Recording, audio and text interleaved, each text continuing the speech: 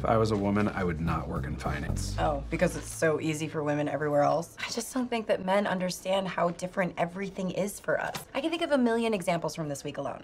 Oh, sick. Oh, sick. Have a great day. Oh, thanks. You too. You have a beautiful mouth. Have a great day. Excuse me, miss, do you know where I can find a police officer?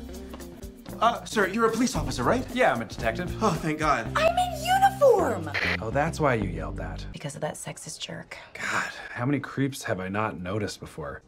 I am genuinely very sorry that this is something you have to go through all the time. It's okay. I'm used to it. That's even sadder. I know.